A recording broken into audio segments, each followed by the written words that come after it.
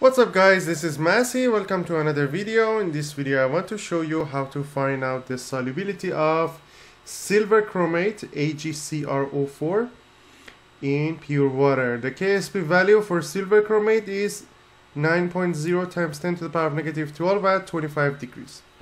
So whenever we have silver chromate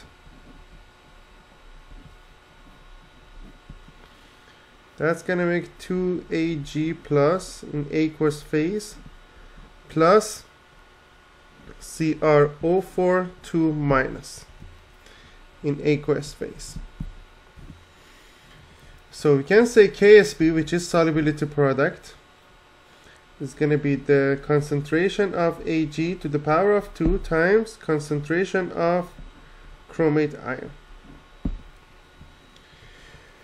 Then we can say for x mole per liter solubility of this solid, we're gonna produce 2x mole per liter of Ag and we produce x mole per liter of chromate.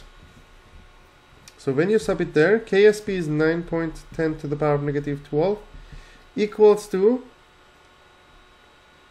2x to the power of 2 times x that's going to be 4x cubed. So 4x cubed equals to 9 times 10 to the power of negative 12.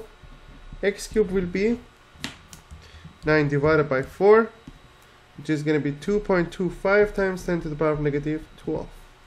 So x will be cube root of 2.25 times 10 to the power of negative 12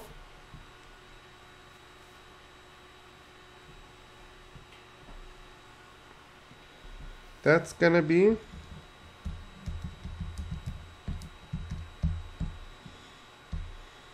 x will be